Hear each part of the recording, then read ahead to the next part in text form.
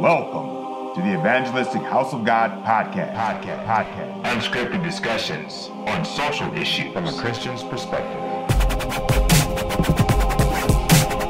Hello and welcome to the Evangelistic House of God podcast. I am Pastor Rod Harris. I am joined by Esther Smith right here Hey everybody. and Pastor Steve Harris.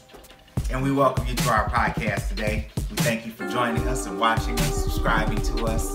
Keep hitting that like button. We keep passing our uh, our our link around. Share us so people know where to Yeah, find us at. share. I like that. Yeah, share. yeah, share. Share. Share some of your money. Well, we can always share yours. Let's focus on what we got here right now. Let's deal with this. So what's going on with you? Everything is great. Oh, okay.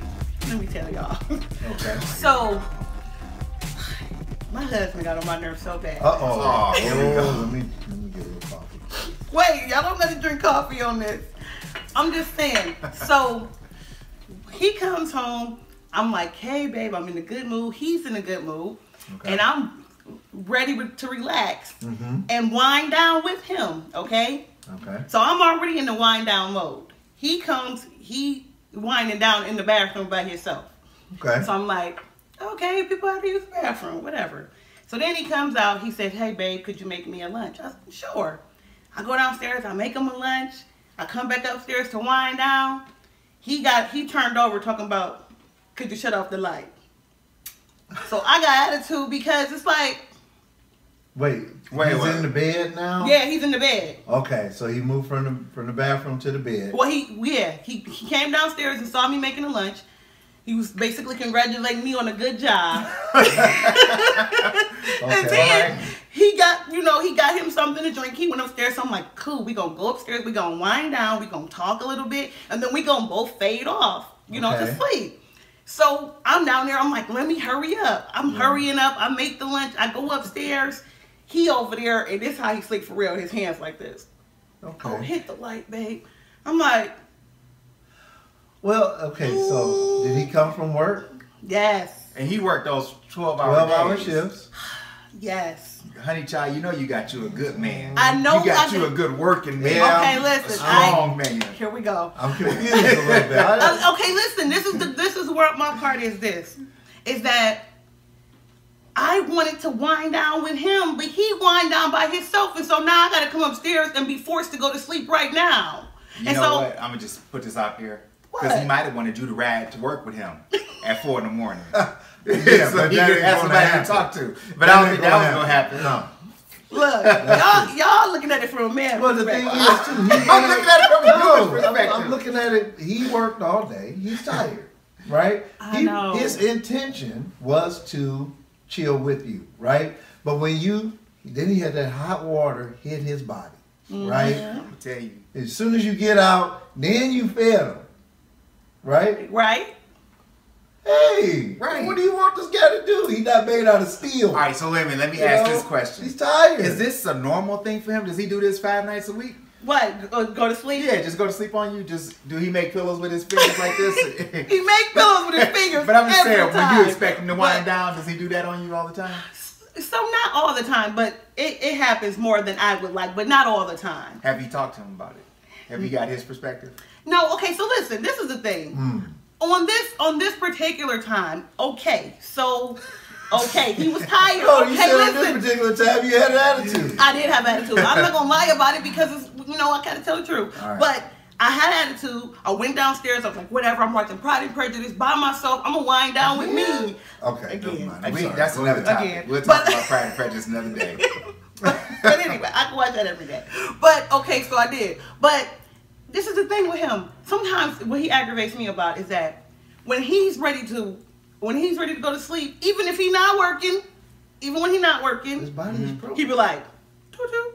that means it's time for us to go to sleep. It's like, no, I, I'm a person too. Why do I have to go every time you say? Well, that sounds like you need to talk to him.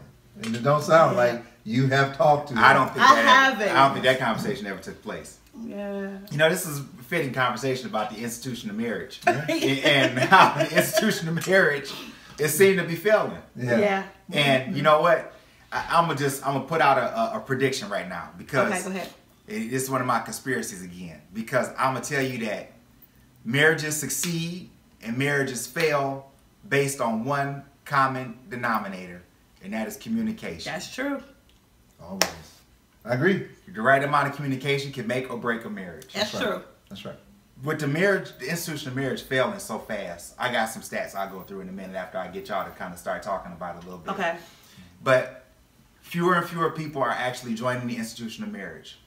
Um, These the, the the younger generations are getting to the point where they don't believe in marriage. They are um, they are running from it. they are playing house. Yep. And if you talk to them about marriage, they're like, well, that's my girlfriend for 17, 19 years. It's, it's like, No. we got five kids. Why, why have you not married this person? Exactly. And what are you doing waiting on him and being his girlfriend for nine, 17, 17 years, years. with five or six kids? No way. You know, let's talk about that a little bit. Why do you think it is that a marriage is failing, that America's failing in marriages? I think that there's a, uh, I think people have a commitment issue nowadays. They don't want to commit, and, and it's not just marriage. We talked about these uh, the millennial uh, people, um, and I use them for an example. But it's not just them; it's the older people too. They don't want to commit to marriage, but then you also they don't want to commit to buying a car. They don't want to commit to a job. They don't want to commit to getting their own home. You know, they would rather live and siphon off the parent or Yeah. the parents. I also think that there is a um, a role model issue as well because there's not a lot. You know, most most of the families that I know where the children come from broken homes. Yeah. They only have a mother.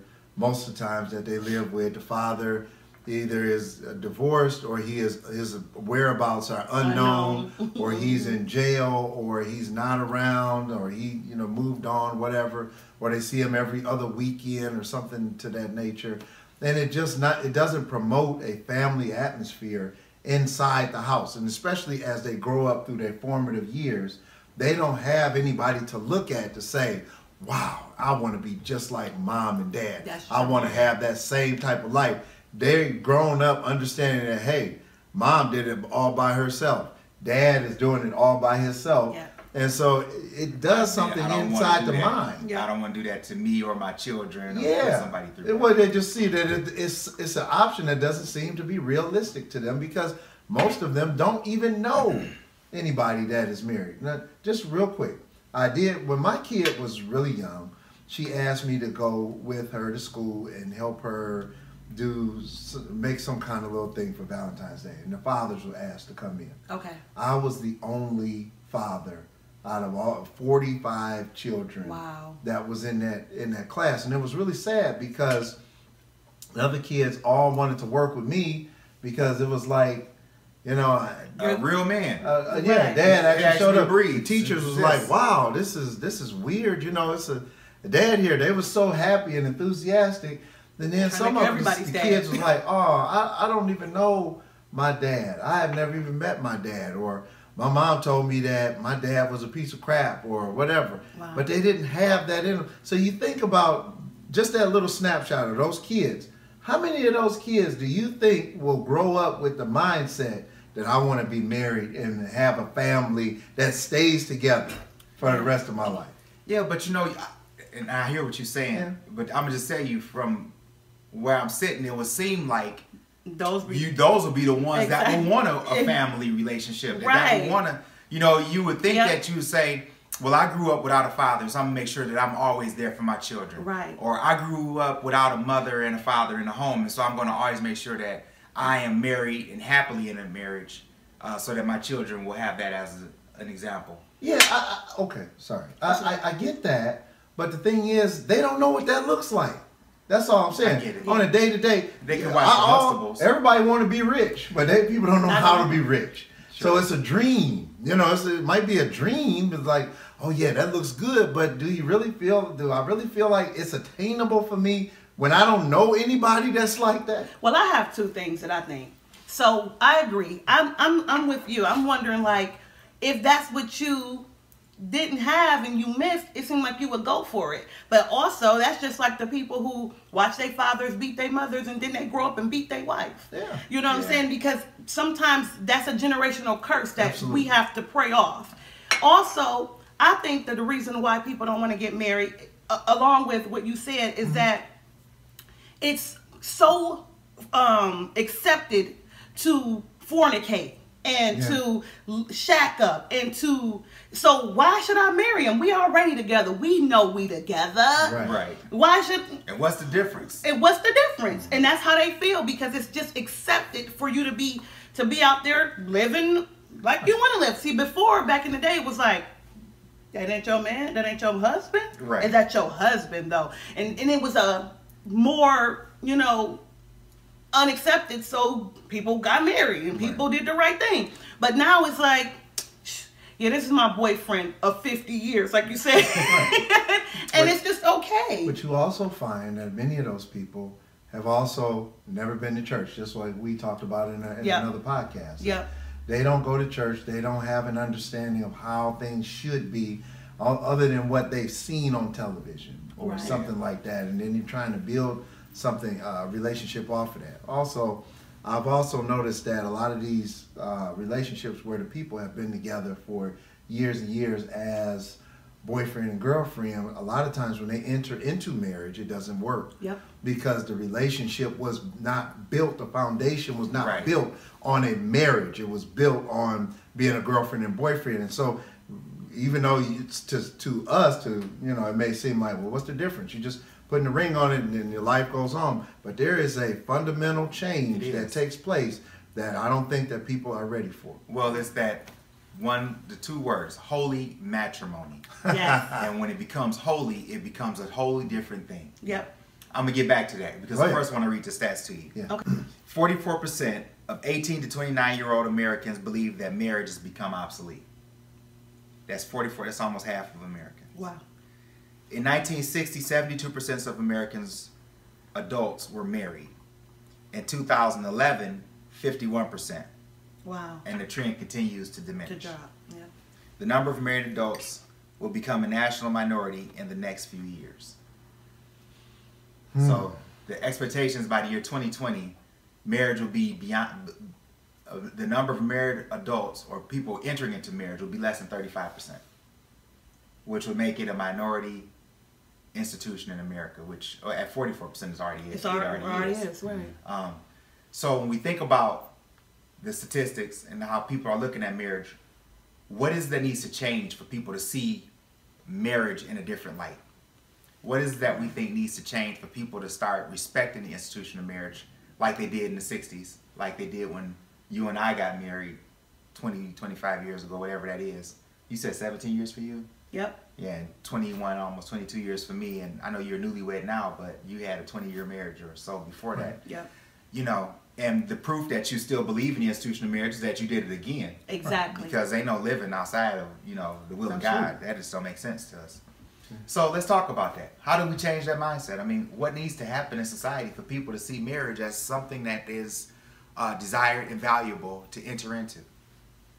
I think that uh, we need to go back and do a reversal of what we talked about earlier. Is that there's so many single uh, uh, kids come, growing up in single family homes. I think the reversal of that is to have people uh, who are married, a man that actually stay with their with their wives, or married a woman that they had children with, and it gives. I think it's it's a fundamental change that starts at home that gives a child an opportunity to see uh, how a marriage works in real time.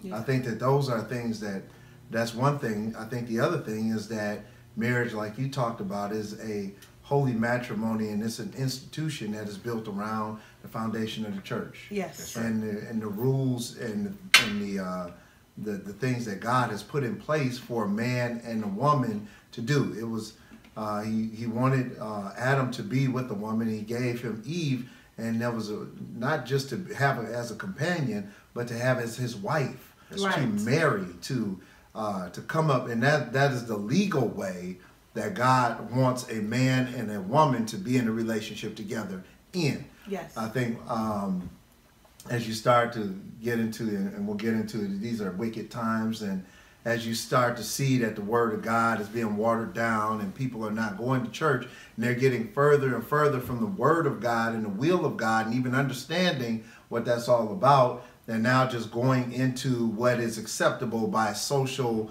standards. You know, what what man wants to do and what people feel is more convenient And so, you know, I, I think that that's just a big part of it. I, you know, I don't want You brought out a real good point when you said convenience. Yes. People are really focused on being convenient. Yes. What is convenient for me today? What Yep. do I want to do right now? They never think about the sacrifice it takes to make anything really work. Yep. And even when people jump into marriage, they jump in because they were in love when they was 12 and now they're 24 and it's not convenient anymore. Yeah. Yep. You know, the expectations have started to change. People have started to grow up. They're starting to think differently. And they don't understand that it takes work for a marriage to be successful. Yeah. There's a there's a real fear also that that people have about marriage. They're afraid. They are scared to death Yeah. of being married. Then you talk to people. You know, we talk to young people. Hey, you know, you need to you, instead of you just seeing this person, you need to get married and. And well, you know, I was thinking about getting married when, you know, this, Yeah. After I, get out my stuff. I got to Right. get. I want to get a house for us, and I want to make sure I got a, a job that will provide for two, and I want to make sure that you know I got all of this stuff, all of this his and her stuff. Right. And when I get all of that stuff together, then, Then I'm I'll get, get married. married. Right. And the same thing when it comes to having a kid. Yep. I'm going to have all of this stuff, and I, I got to get all of this stuff together. But that's not what marriage is all about. It's about No. two people coming together, and if it struggles, then you struggle together. Yes. You grow together. You Yes. you know she has your back, you have her back, you Yes. supporting each other, and you going through it together, and that's what builds up that you know that that uh the relationship. And understanding, hey, remember when we did, remember Right. how we overcame. Exactly. Remember, you know, and and and especially when you have that with God in, in the center uh, of, of the of the relationship, that's that's when a marriage is a really wonderful and a beautiful thing. I think people are afraid of marriage too, but I think people are afraid of divorce more than the marriage. And because I, I read, I don't even, it's been some time now, but I read some type of uh, stat that divorce is like um, one of the most grieved things. It's like even over lose the death of a child. It's more grieved than It's the death of a child. Yeah, more painful. And I said, wow, you know, people don't want to fail at it, so then they just won't attempt it. So you know what I'm saying? Well, and I, I, think that that's that. the- I, I was under the impression that that's what we were talking about that in marriage as a whole, as an institution. But go ahead. Right, and I think that um, it's it's it's the how this this this new lifestyle is for these people. It's mm-hmm. a coward's way out. They they are they're they're cowards. You know, it's like, well, I'm not gonna try that because I might fail at it. I'm not gonna make a decision here because I might try to choose the wrong decision. I might. So it's just this whole mindset of just laziness and, Yeah, 'cause and they have to cowardice. Work for success. Exactly. and there's So- also selfishness too. Oh yeah, well. Well, Exactly. definitely a selfishness. So, you know, we think about the institution of marriage failing and people being afraid to get married for whatever reason they're doing it. There's also another component in it, and I'm going to talk about um, kind of an offshoot is society as a whole, the population diminishing, right? So as people don't get married, you know, they're not stopping having kids by any means, but it's not the way it used to be, right? Yeah. Right. So people aren't having children that they the way they used to be. Today, a legal spouse can be one of the same sex, which means that you know children being born out of that relationship. None. Right, Mm-hmm. and so now you got you know um, homosexuals who are engaging in marriage. You got families, people that should be engaged in marriage, which who will not. Right. Then what does that mean for the American family? And I shouldn't say American. I'm t- we in America, but what does that mean for families? Does that mean that the idea of a family with a, a mother and a father, whether they're home with you or not, is is going to actually vanish from us? Wow. it's a it's a possibility that if that continues, but I, I just look at it as a trick of the devil. Yep. And you got these, uh, you know, we talked uh, once again about, um, you know, God had intended man to be with a woman in in holy matrimony and having children in that way, and people have gone so far away from the church and the institution of marriage that they just making the rules up as they go Yep. along. Yep. And you know, this is Just things that the Bible has talked about. These are the perilous times. This is wicked times where people have just gone about doing things that they wanted to do, and they have allowed their flesh to just overtake and oversee everything that's going on. And so, what you're seeing now is a result of when man eh, allows his flesh to take To over take over. Yeah. you have broken homes and you have children being raised by homosexual families who don't have, and they say, oh, that has no effect on Of whether or it not he marries a, a, a woman or a man. But I, how can you? We just talked about the effect that it has just on on a, a, a person getting married, whether they in a single uh, family environment Right. Right. So of Of course, course it, it has a, a tremendous effect. Yes, on it that. does. Exactly. But you know, I, I just think that it's a sign of the times. I think that we have to continue to pray. We have to continue to keep God first. And I think that we need to keep holding up that banner yes. that, uh, you know, hey, this is the way that things are supposed to be. I think we need to teach our kids. I think we need to continue to encourage people to go to church. I think we need to encourage people to be married. Uh, you know, I think that uh, uh, another issue with our with our people is that men, the men, they love to make babies, but don't nobody want to stay at home and take care of them. Yeah. And so then they have a string of children all over the place, and then they don't. The man is never there. Right, and then he complains and make about the system and say, uh, "That's because I got this, I got FOC in my pocket, or what is it? Is it friend of the court? yeah. Yeah." And it's like, well, stop having all of these kids all over the place so that you can actually have somebody so that you can, you know, be there for your family. Those are generational curses. It is. It's it's terrible. and, and their fathers did it, and, and their father did Yeah. it, and it just continues to just cycle And it's back. because and it's because of the lack of God in everyone's Absolutely. lives. Ab- So Absolutely. you know, it's not everybody that does not want to be married. And I've No. talked to and I see women, especially, they really women really kind of cling more to the the whole uh, idea of Of marriage. marriage, And yeah. I don't know if it's because of the princess uh, syndrome, where they feel like they have their day in their gown and it's all about them, or Mm. if they really believe in the fantasy of love and and the idea of, of marriage. But the scripture says, when a man findeth a wife, he findeth a good thing. That's yes. And it never said that a woman can't find a husband. It just said that when a man findeth a wife, uh, Mhm. findeth a wife. What do you guys think about it from a woman's perspective, pursuing a man for marriage? I mean, if if you're a woman and you're single and you see this nice looking guy, is it okay for you to to step to him? no, absolutely not. I'm, eh, I'm for me. I'm I'm old school, okay. And when I take the scripture at its word, it didn't say nothing about a woman, so it's nothing for a woman to do with that part, and that's how I take it. Mm-hmm. It's it's not up to me to find my husband and to find my man and to find my own thing. It's up to God. And if I trust God and if I'm doing what God say, he will send me someone like he did send me because I did trust him and I mm-hmm. and I give him my my trust in my life all the time. I think that the problem that one of the problems is that too many women are looking for their man. They are searching and finding and hey, you look good, Keisha, and put it in your pocket. no, that's not. That's a turn off. To if I was a man, that would be a turn off to me because it is the man's job to pursue, Yeah. not the woman's job to pursue. Is it is a it's in a man's nature Mm-hmm. to go after and find a wife. That's why it's in the Bible. Mm-hmm. It's you you want to say, well, it didn't say you can't find your husband, but it didn't say you should either. Right. So you know, I, I think that I think So- that that's that's another thing that's corrupting the system. So what say you, Pastor Steve?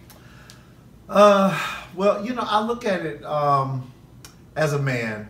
Uh, in women, when I was a single guy, I was married once, and then I was single for about three years, right?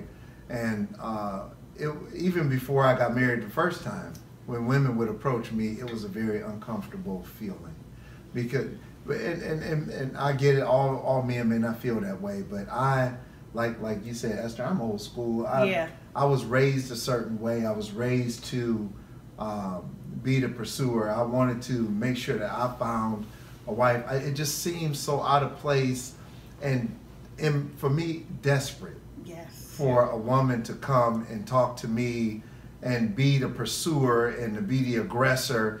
And I, I think it also sets a, a bad tone for the relationship too, because uh, once she becomes the aggressor and the pursuer, then what is to stop her?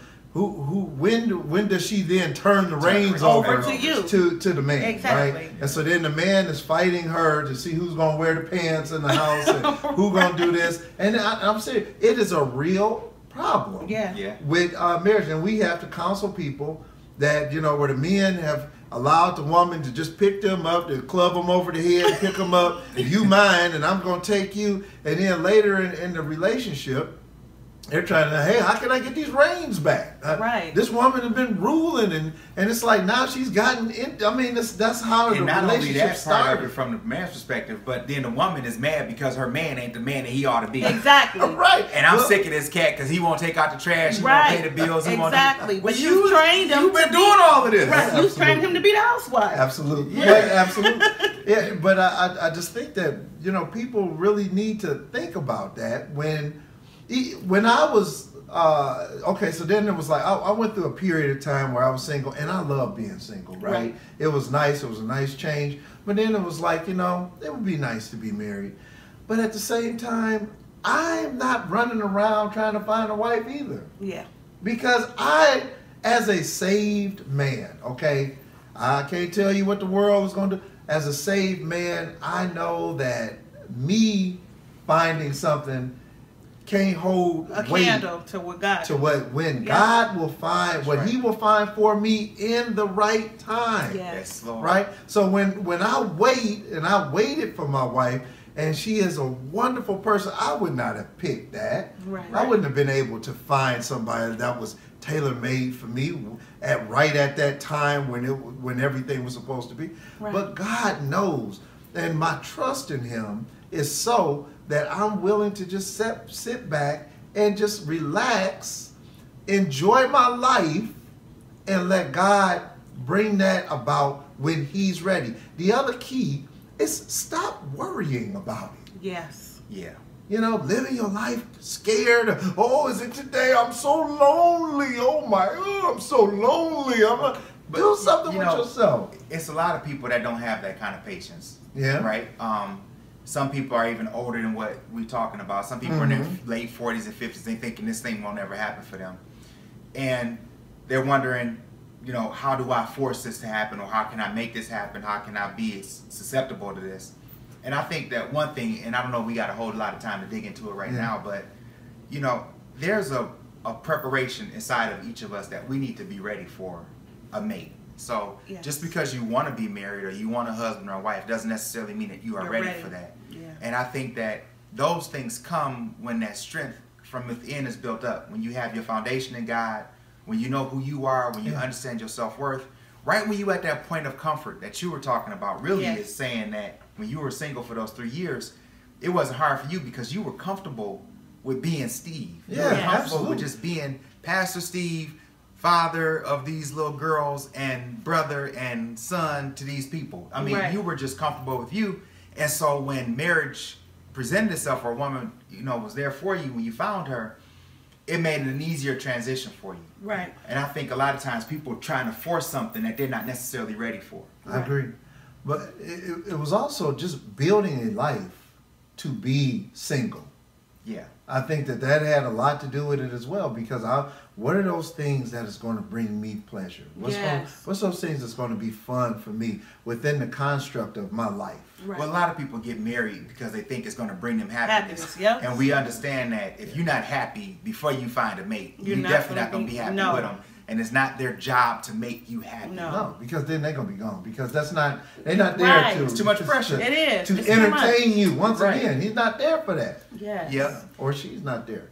She's You know- she's there to help you, not not to be your mother. when it comes to women looking for men, and I hadn't spoken on this, I asked a question, but um, I think the most important thing for a woman to do is to always become be a be a lady, Yes. to always be ladylike, treat people like how you want to be treated, and be open to the idea. So if I was a single woman and a man approached me, it's getting beyond the the the physical things I can see with my eyes Yeah. and being open to the po- I mean, don't get me wrong. I ain't saying break down all your uh, standards and just take any bum off the street. Right. What I'm saying is that people sometimes miss their blessing because they're not looking for it with the right focus. Yeah. And so they tend to lose focus on what they should be focused on. And they're looking at the outer appearance. What kind of shoes do we have on? What kind of cars are driving? You know, and you're looking at that kind of stuff when if you'd have waited on God to choose it for you, He'd have chose a man after His own heart and- and, and blessed you with a real husband or or same thing for a wife. Man, this is a good conversation, but we gotta go. Yeah. We are at our time, folks. Thanks you for jo- thank you for joining us, for listening in and watching us. You can always find us at ehogministries.com. We are on YouTube, Twitter, Facebook. We are anywhere you want to find us. Thanks again for watching us. Don't forget to subscribe, hit those like buttons, and we'll talk to you later. Have a blessed day.